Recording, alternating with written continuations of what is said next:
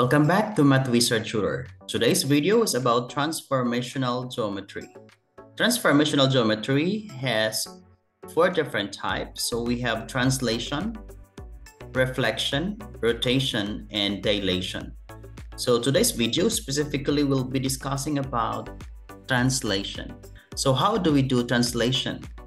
So to translate means to slide the object or image from the original position to any direction, maybe going to the right or going to the left or going downward or upward. So translation is just sliding the object. So for example, we have triangle A, B, C, and we are going to slide this figure 7 units to the right. So what is our rule? Our rule is x comma y or the coordinate of our triangle will be added by 7 comma 0. It means that our x values, because moving to the right is affecting our x values, moving to the left affecting our x values, moving upward or downward that is affecting our y values. So let's identify then what are the coordinates of our A, B, and C. So our A coordinate is negative 5, 3. Our B coordinate is negative 4, 1. And our C is negative 1, 1. So what you're going to do is to just add 7 to the values of your x. So example A, our A is negative 5. So you have negative 5 plus 7 that is equal to positive 2 then your 3 you add by 0 of course you just copy your y. So you have 3 so your new coordinate now for a is 2 3 we call it a apostrophe or a sub 1 next our b negative 4 plus 7 and that gives you positive 3 comma 1. You just bring down your y values. Next, for letter C, you have negative 1. Negative 1 plus 7 is positive 6, comma, positive 1. So now your new coordinates are A is 2, 3, B is 3, 1, then C is 6, 1. So I'll just plot it to the right. B is 3, 1, then C is 6, 1. After which, you can connect the dots to form your triangle. Now, it is translated to the right side of the coordinate plane in quadrant 1. So now the object is translated to the right 7 units. So if you drag this object 7 units, 1, 2, 3, 4, five, six, seven. The object is correctly translated to the right, seven units. Next example, we are going to move the same triangle ABC.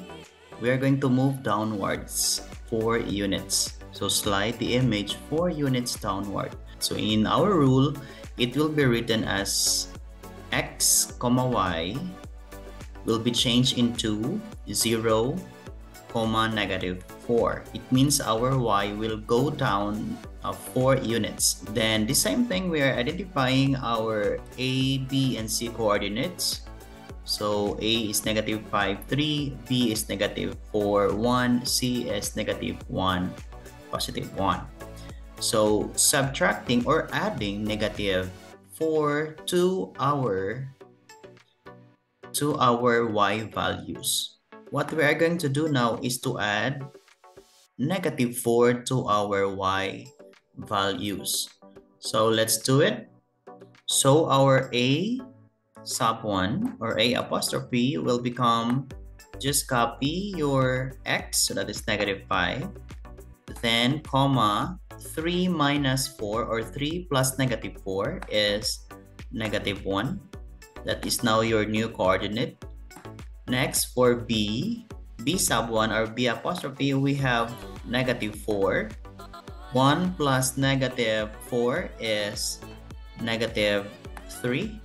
Then your C is equal to negative 1 comma 1 plus negative 4 is negative 3. So you can find your coordinates on quadrant 3 because all are negative. So you have a sub 1, negative 5, negative 1. b sub 1 is negative 4, negative 3. c sub 1 is negative 1, negative 3. Then you can connect the dots to form the triangle ABC. So if you are going to check four units below, so from the original position, you can drag the image 1, 2, 3, 4. Exactly the image was translated. 4 units downward.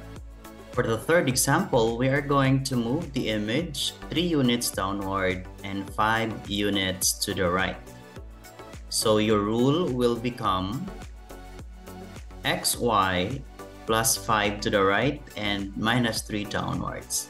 So let's give our points. Our points are coordinates for A, negative 5, 3, B, negative 4, 1, C, negative 1, 1. Then what we're going to do next is to add 5 to our x values. For our A, we have negative 5 plus 5. And that gives us 0. So our x in our A is 0. Then for our B, negative 4 plus 5 is 1. And for our C, negative 1 plus 5 is positive 4. Okay, so what we're going to do next is to find our coordinate for y. y is 3 minus 3, that is also 0. So your a is now 0, 0. Next, for b, we have your 1 minus 3, that is negative 2. 1 minus 3 is comma negative 2.